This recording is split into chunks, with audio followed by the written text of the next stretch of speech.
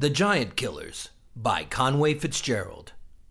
Chapter 19 In the aftermath of the battle, the two dwarves named Hansen and Dorby, who remained invisible as observers throughout the fight, were astonished by what our small group of men had achieved. Our kill count was 250 orcs, the rest fled. A dozen ogres, 42 humanoids, and the capture of two stray stone giants. These giants were being used by Kratos to help construct the burrows that we had lured the orcs out of. We assessed their neutrality, charmed them, and took them on as laborers for our own construction purposes. The orcs had some of the castle's lesser treasures in their possession. We recovered very little of value, except for the sentimentality the clergy attached to these items. Later, the two dwarves sought us out for an audience. They complimented us, finding our kill tally quite impressive, but it was what the orcs wore and used as weaponry that interested them most. This steel is of the highest grade. Orcs do not know how to found it. Hansen opined. Theos Khan and I inspected the armor with them carefully. Found it? Or even afford to be armed with it? I asked. This kind of scale armor must be very expensive to produce, and it's clearly of human design. But it does appear custom fit to Kratos himself. This kind of workmanship to be in the hands of orcs, or even these orogs, it's quite unnatural, I confirmed with Khan and Theos. Quell must have quite a bit of money at his disposal to equip his army of orcs this way, if this is any indication. Added Theos. It's not the cost. You must understand, my human friends. It's the source. Hansen sidestepped me and made his pitch directly to Khan and Theos. Great wizards, this metal is from the Iron Fields within the Golden Plateau. Claimed Hansen, grateful to finally have the White Flame's ear. They must have gained possession of it. They must have taken it from the giants. Nonsense! Retorted Dorby, the master builder. Orcs could never control the Golden Plateau. That is, and always will be in the possession of the fire giants. He paused and then looked over to us, as if a secret had just slipped out clumsily from his lips. We all looked at the dwarves with incredulity. Theo spoke first. What is this golden plateau of which you speak, and these iron fields? It was then I recalled the old story, vaguely. Legend tells it was the gift of the great Iron Titan named Brahm, the father of all the giants who ruled from the tallest peak in the jagged cliffs. One day, he was angered. In his rage, he used his mile long sword to smite his enemy. He missed and chopped off a mountain top turning it into a massive plateau. It is told that revealed deep within the plateau is an endless supply of gold, silver, and iron. This was the giant's divine inheritance. Dorby told the story sarcastically, suggesting it was simply lore, not based on reality. The iron fields lie there. The ore within is the finest anywhere. Steel from that ore can be made stronger than any other that is forged in the known world. Added Hansen, who appeared to be floating the theory that this is where the ore for these weapons and armor, worn by these lowly orcs, must have been sourced. If the orcs have weaponry like this. Imagine the arms and armor manufactured by the fire giants. Hansen warned. That is why I came to you humans. To offer information. And this warning. The giants have imprisoned our people by the hundreds, forced them into slavery to forge new weapons and construct a new giant's fortress, Zaitufetan. It has been completed, built into a mountain. It is impregnable. Stop wasting these fine men's time with such stories. Demanded Dorby, eager to get the negotiations for construction back on track. I am here to rebuild this fortress, not feed their ears with such foolishness. Dorby demanded an audience with Fergus, as clearly none of us were able to promise him any money. He was getting impatient. We sought out Fergus, who was meditating in his sanctum, a hastily constructed shanty that was located on the grounds of the once spectacular All Gods Church, which now lay in ruins all around him. As the cold fall rains fell mercilessly on the wrecked castle at Vosse, Fergus's sanctum was among the few places that offered shelter. Fergus welcomed the dwarves inside and allowed Dorby an opportunity to pitch his plan. Fergus listened intently, surrounded by his comrades. All of us were there, save the new fighters and Thon scouts, who were working on expanding our security perimeter. Theb heeded my warning to remain outside the sacked castle and spent most of his time inspecting the orc caves for survivors and coin and the surrounding areas for information. Seeing that dark elf female, the Drow High Priestess that took Ozzy's body, had really scared him in ways I had never seen him scared before. But I'll expound more on that later. Dorby discussed his inflated projections of cost and then elaborated on his time frame to develop his workforce and acquire the necessary raw materials. Khan and Theos showed him their drawings after he agreed that any knowledge of this castle's construction would require a memory wipe. Before anyone's wiping out my mind, I want to see a deposit. I figure at least a thousand in gold to begin. He said almost certain he would never get that. As a showing of good faith. Another ten thousand to complete it. Dorby demanded. I figured this was where this negotiation would implode, as clearly none of us had anywhere near that kind of money. Agreed, said Fergus, to most of our complete surprise. Fergus motioned for Reg to bring in the cart that held the trunks of cash that was gifted by King Owen. We all looked at him quite surprised. I didn't say I wouldn't accept it. He smiled at us. Over the next several months, as fall turned into winter, and winter returned to spring, several hundred more dwarves made their way to Vosse from their ancestral homelands. Many trekked thousands of miles from the lands between the northern wastelands and the endless wood. As expected, so did other humans, elves, gnomes, and halflings, all looking for opportunities to befriend the Order and earn a prosperous living. Among them were adventurers and treasure seekers, tradesmen and refugees. Many were the purported relatives of the former inhabitants of Vosse, claiming rights to lands and homes left in ruins by the invasion of the Horde. Fergus did his best to arbitrate, and the Paladins created a makeshift police force to stop the many little battles that ensued, before they got completely out of hand.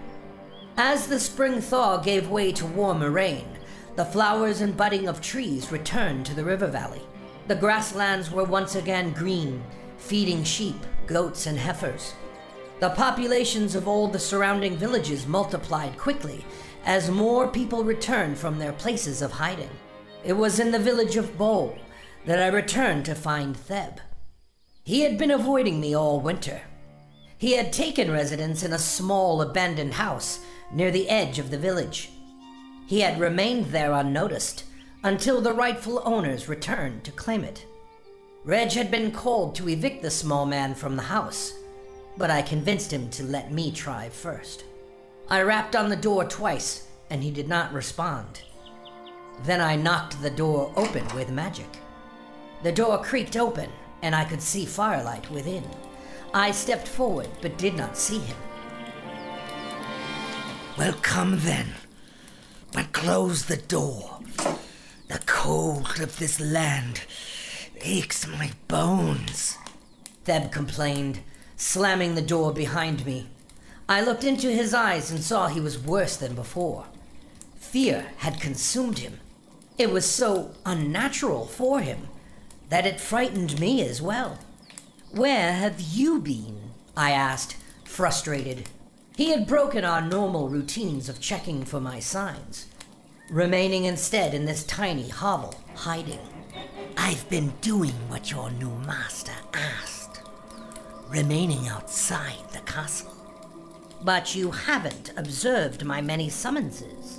As I spoke, his eyes left mine for the window slots on the door. How did you find me?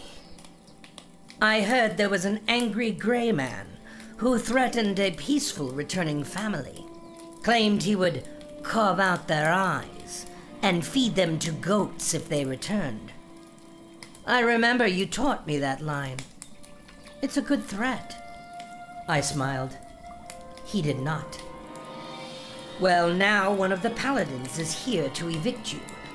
By force, if necessary. You really scared those people, Theb. Why did you. I am scared, Ermine. I am. Why do you care about these people?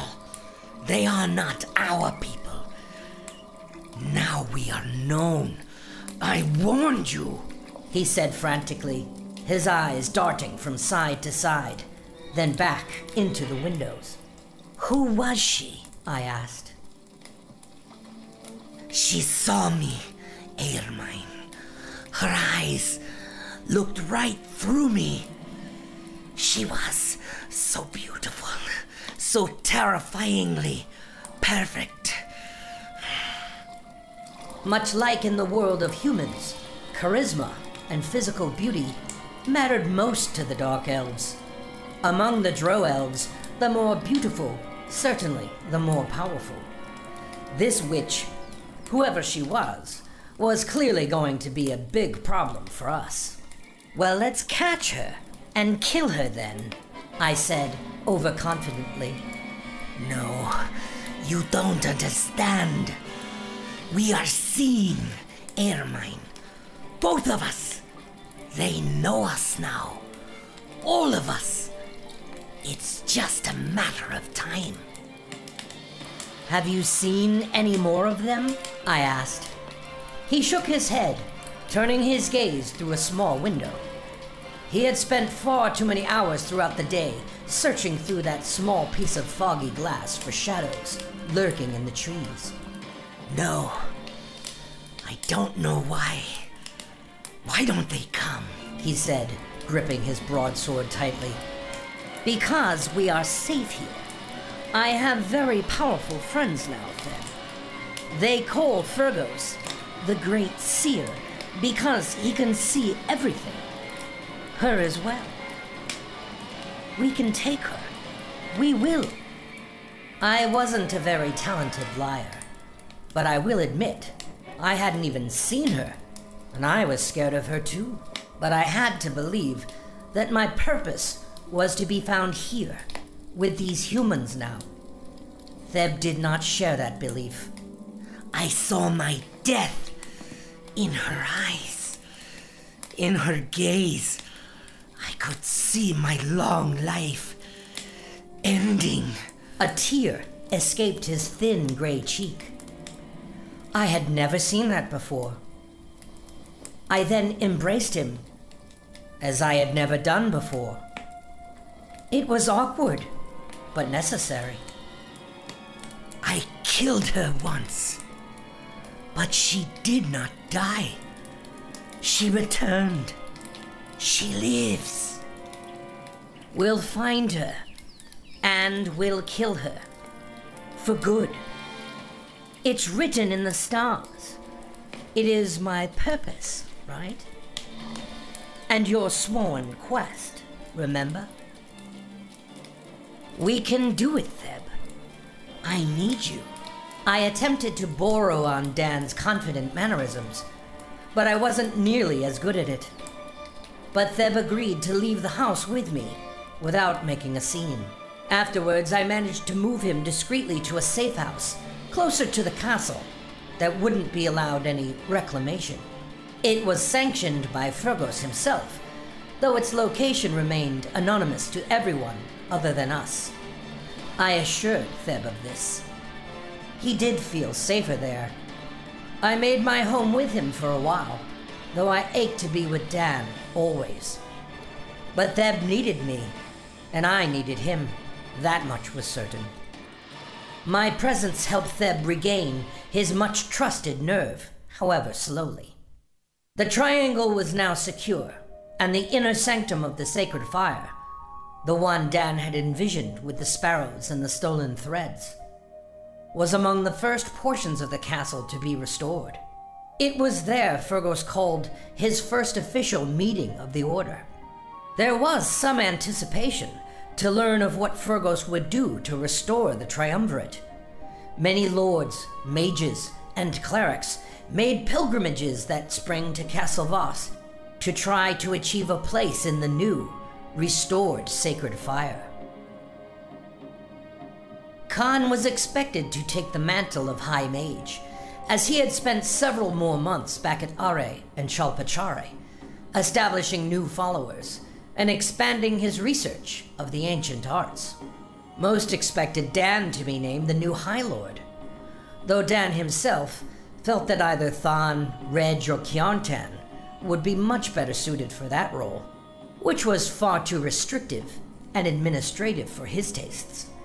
Meanwhile, Dorby and his many dwarven cousins and peers continued to swell in and compete amongst each other for an ever greater slice of the growing construction pie. Dorby demanded greater and greater sums of money to complete the project. The budget had ballooned to 25,000 by spring. The deposit suddenly seemed far insufficient for Dorby to pay his many workers. This, and the arrival of the dwarf named Welky, who claimed to be a refugee from Zytefetin itself, prompted our first official meeting at the new Castle Vosse. Welky arrived in Dan's dreams the night before he made his first appearance. This was unfortunate, because when a man feels he has seen his dream become reality, it is very hard for him to be persuaded otherwise. So it was with the dwarf, Welky Dorncutter. Dan had many recurring visions and dreams of late, he told of being awoken in a foreign place. It was dark and nondescript, though he knew not where it was. He knew with frightening certainty his destiny awaited him there. His fate and his promised vengeance could both be found there, in that unknown dark house. He had spoken of this vision with Fergus and myself many times. He described an unusually wiry dwarf, missing an eye, who led the way to that place. I explained my mistrust of dwarves to him, and all of the flame, but to no avail. I was amazed at how even Fergus was prone to believe their many tall tales, with smiling relish. As far as he could tell, they spoke the truth, though it was always shrouded in a haze of legend and vague prophecy, as usual. That's what made dwarves such famous soothsayers and fantastically successful liars. They had faces that just seemed naturally harmless and believable. As more dwarves arrived in Vosse, I tried especially hard to dissuade Dan from believing any of Hansen's stories. But Dan was insistent. I could see him, observing each new dwarf he met for clues. He inspected them, as if to see whether they perhaps were attached to this little man in his vision, or had any clues to reveal where the one eyed dwarf could be found. Dan befriended many of them, asking routinely if they had ever seen such a dwarf. With so many dwarves making residence in Vosse Dan assured me he had begun to assume this vision was simply an impression, a riddle from the gods, but not a reality.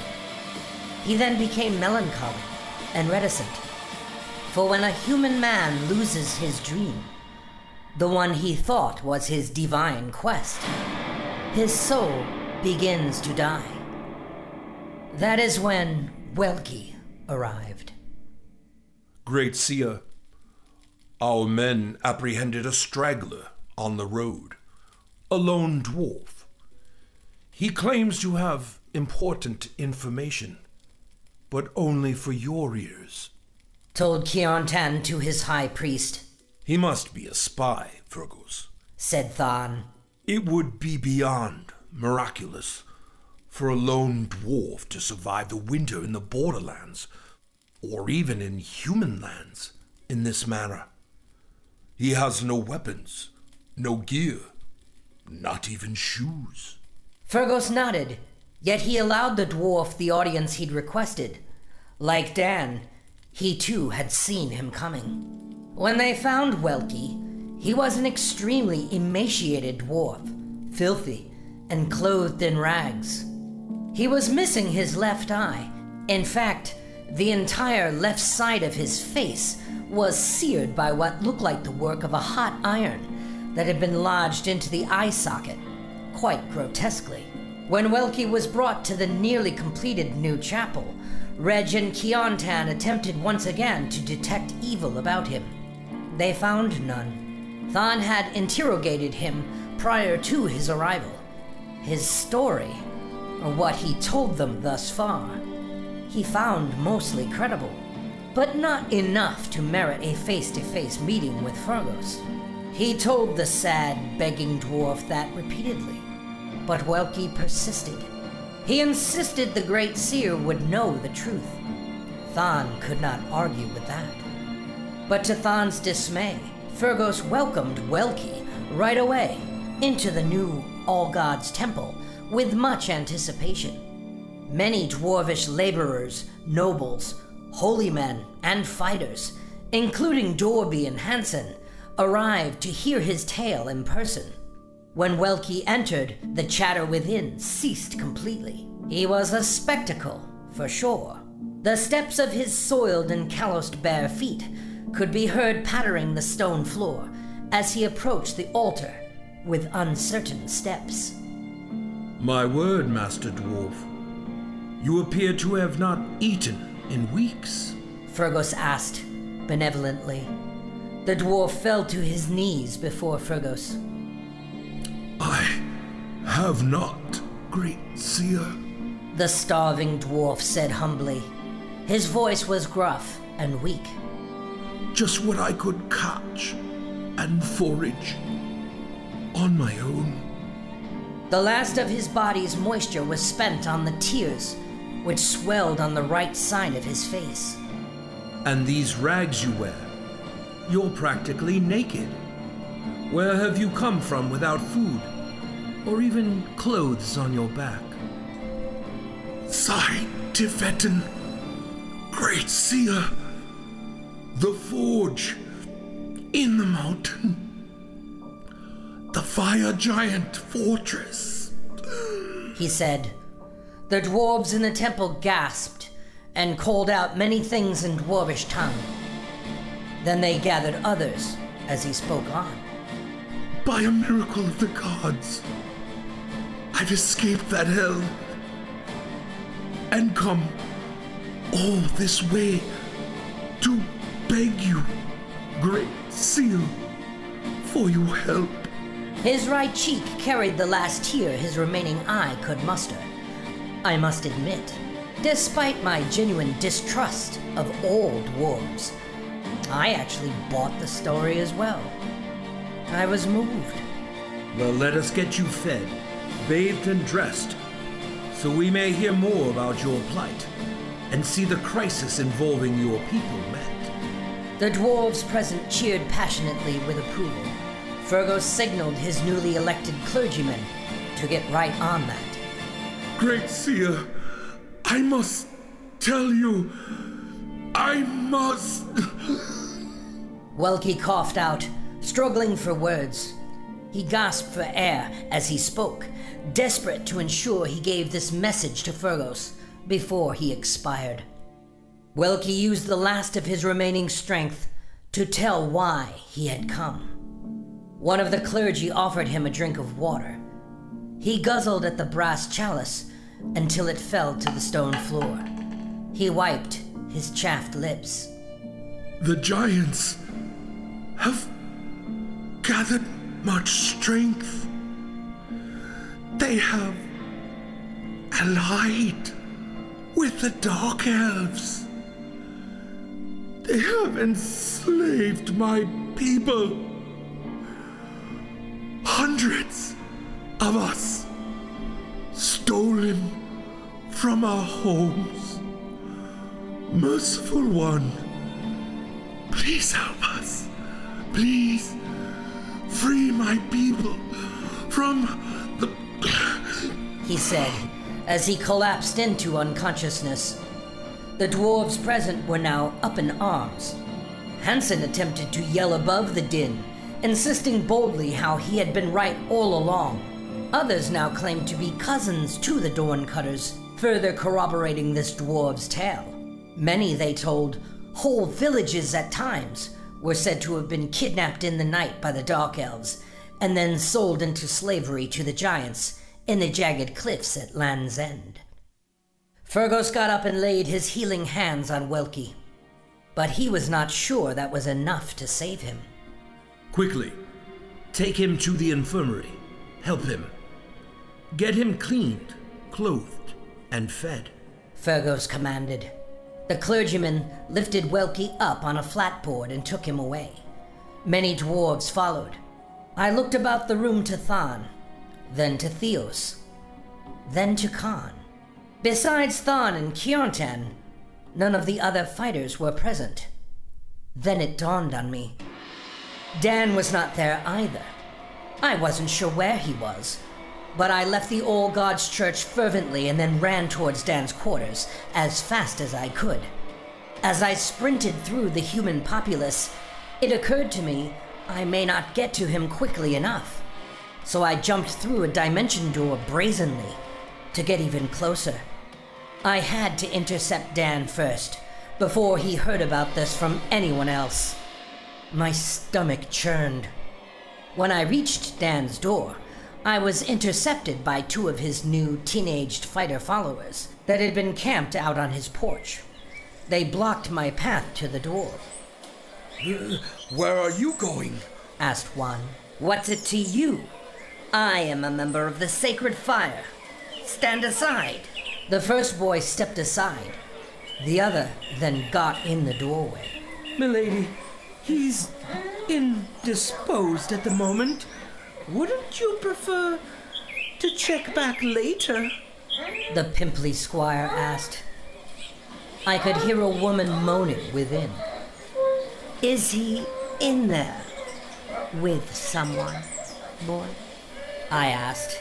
He tried not to speak, but then nodded. Thanks. I smiled at him. He smiled back.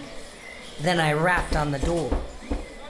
Dan, it is I, Tia, your fellow member of the Sacred Fire. I looked back to the boys smiling, who had the look on their faces of dead men walking. I knocked again. Dan, I need to speak with you at once. The door opened suddenly, but only a crack. Dan's head protruded. Ermine, what are you doing? He had no shirt on. Dan, we need to speak now, I whispered. Now is not a good time, Ermine. He said, a bit perturbed, looking back towards his bed, and then to me again. Dan, we need to talk now. There's something very important I need to tell you. I said again, insistently. It was at that moment his eyes fell from mine quizzically. Dan seemed to be receiving another message, one that I could not hear. Moments later, after he listened to what seemed like a summons, he looked back to me. Give me a minute. The door closed.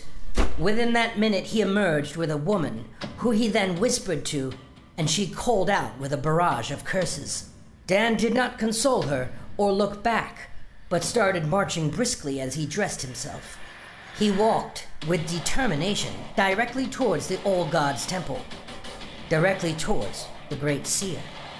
Who was that? I asked, reflexively. What? No one. He said, a bit irritated by the intrusion and the question. Dan. He slowed his walk momentarily. He looked back at me then turned and kept going. I followed closely behind. Dan, this is too perfect. Too easy. He's not what you think. I know it. I really didn't know it, to be honest, but the notion of Dan being presented with this ironclad acknowledgement of his dream, this most succulently baited lure, was certainly not a portent of something that could end well. I was certain of that. It smelled of deception, something I was well versed in. Dan stopped at the entrance of the All Gods Church and then turned again to face me. His left arm was extended, as if to suggest I had followed him far enough. I've been summoned by the Great Seer. Will you excuse me? In his eyes, I saw a zealous determination. There was no stopping this. He entered the newly constructed temple briskly and did not hold open the heavy double doors for me to follow. So as he marched towards this destiny, I remained behind, powerlessly, at the doors that came to a solid close. I felt though I had lost him again. My eyes welled with tears as I turned to my left. There was Thon, seated on a bench on the porch outside the new temple. His eyes met mine. I sat beside him. Thon, you don't believe this dwarf actually escaped from the giant's fortress, do you? That's what he believes. He said. I looked at him for clarification. The dwarf, I mean. But there are so many other dwarves here that Dan described this vision too some of which you must agree don't have this place's best interest in mind. Thon nodded. Wouldn't you also agree? This is all a little too perfect, almost like he was created to match this description? Normally, I would agree with you, Tia. In fact, I did not wish to bring this dwarf inside the grounds at all. But Fergus was expecting him. I looked at him with shocked disbelief. There are powers at work here that, frankly, I cannot understand. But I trust Fergus with my life. You should too. He said, as his eyes met mine. But why Dan? Why is he so sure of this vision? He told me just last week it was only an impression, a dream that only the gods could reveal. Maybe they have, Thon said stoically. Dan walked briskly down the length of the new chapel which led to the altar and dais where Fergus prayed. He stopped at the base of the altar and looked up to his old friend, whose eyes then opened with a smile. He has arrived. It is time. Fergus said confidently. I am eager. We are ready. Dan replied. The two of them had been sharing their visions Dan of the one eyed dwarf and of the path which led to victory, Fergus of the bubble in hell, which rose above and out of the control of Moscow's reach. They were in agreement these recurring visions were tied together, and now these portents had come to fruition. The call of the gods had finally come. His name is Welky Dawncutter.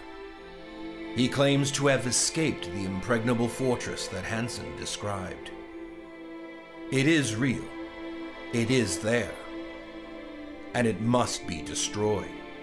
And we're certain he speaks the truth. He can really lead us there? Dan asked. I'd like to think my desperate warnings had something to do with this extra request for verification. He spoke no lies.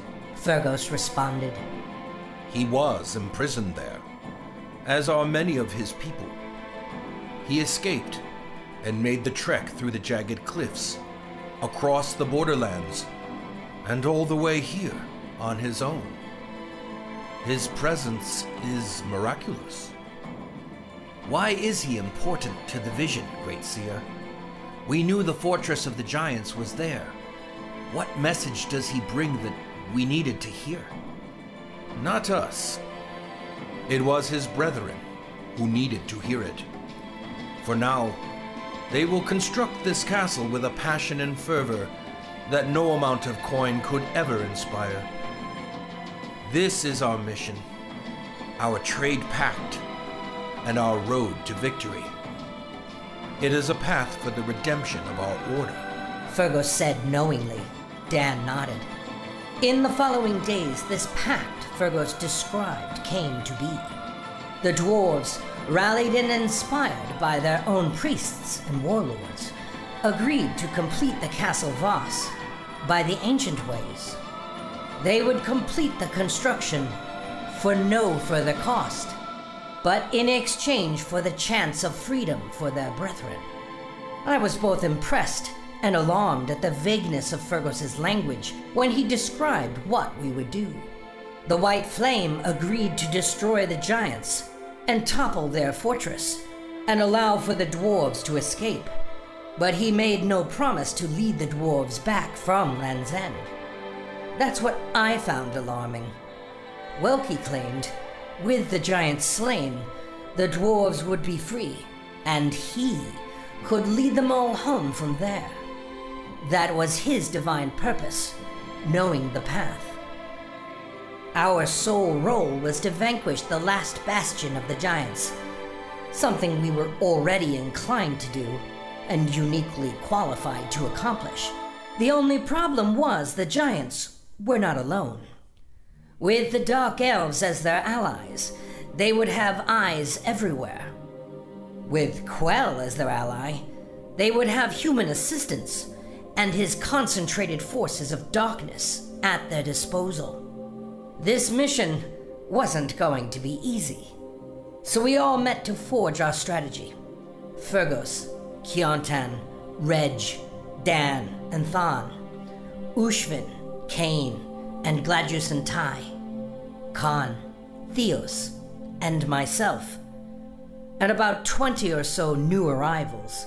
These new arrivals were young, lesser experienced fighting men, clerics, and mages, all hoping for a chance to make the mission with us as giant killers.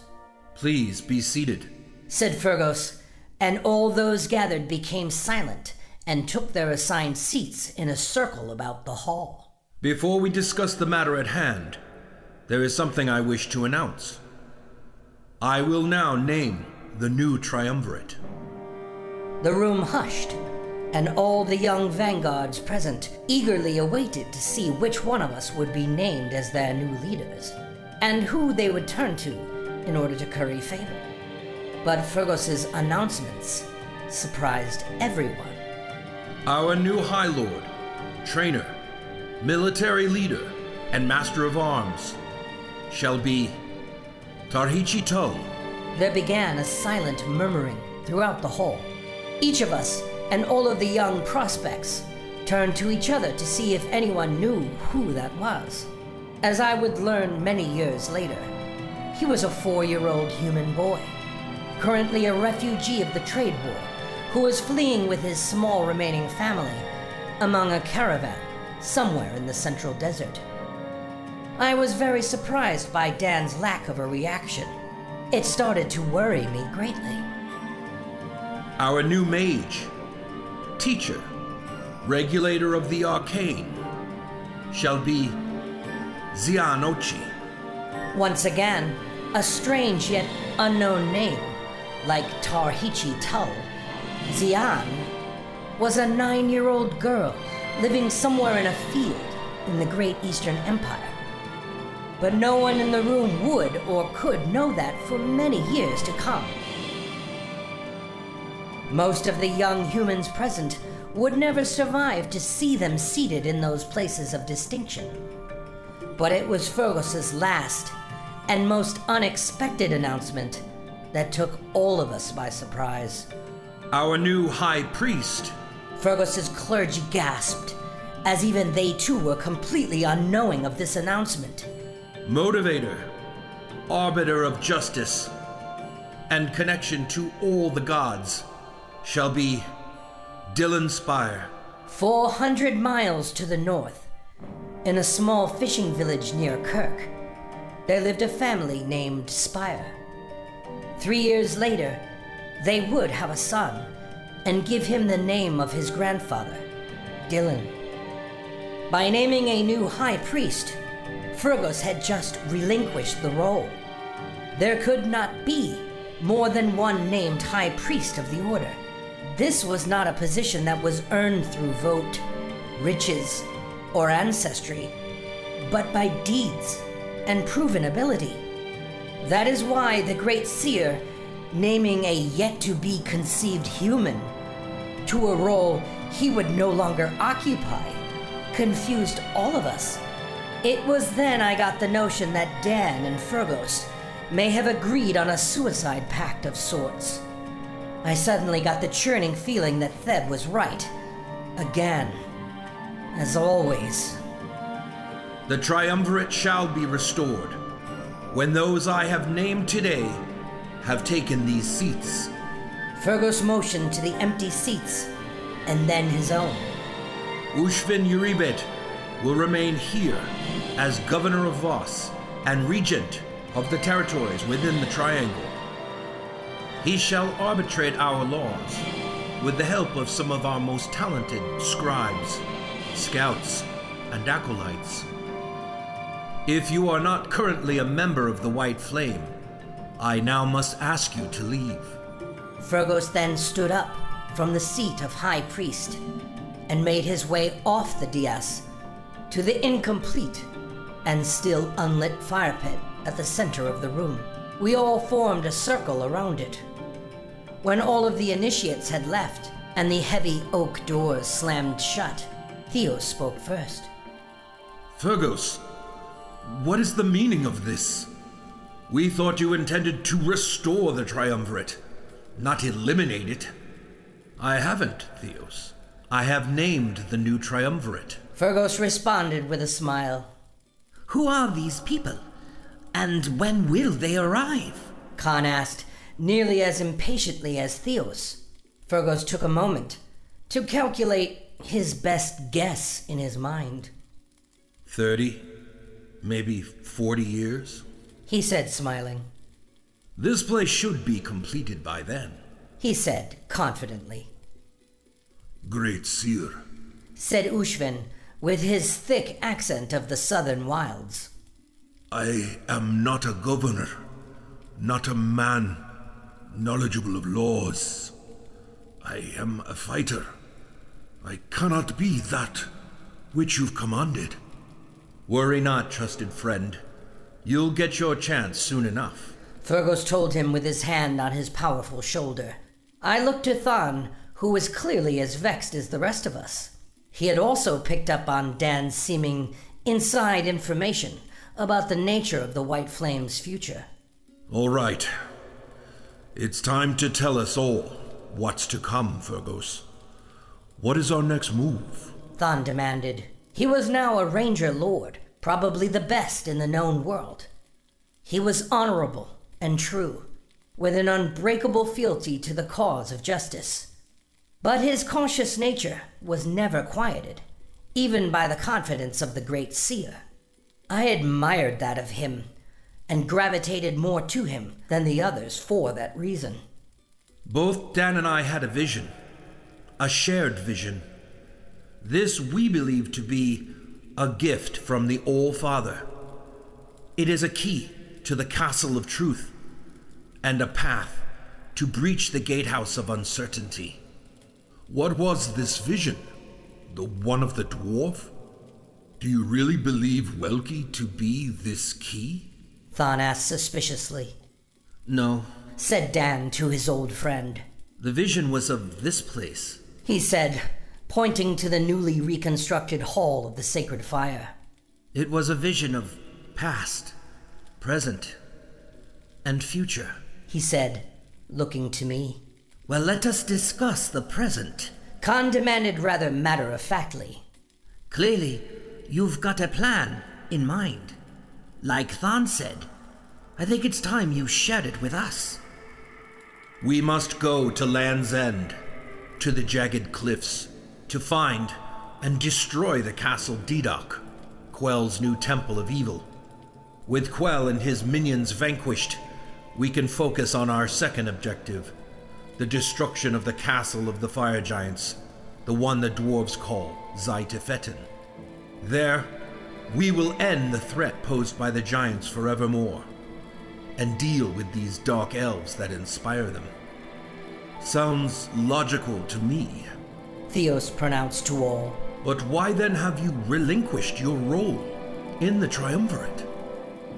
There was an uncomfortable silence in the hall for what seemed like an eternity before Fergus answered the question. I do not expect to return. Fergus said with less of a smile. Neither should any of you. Where we are going, no man has ever returned. I don't expect that to change. After the meeting of the White Flame, where it was now foretold that all of our fates were sealed, Thon and I discussed what we should do to ensure we weren't being led into a trap. He agreed with me that if we convinced the mages, Khan and Theos, to caucus with us, we could double check this dwarf's story and make sure we weren't being duped to our deaths. Fortunately, Fergus agreed. A subsequent meeting was arranged with all the dwarves, ostensibly to solidify our pact with them.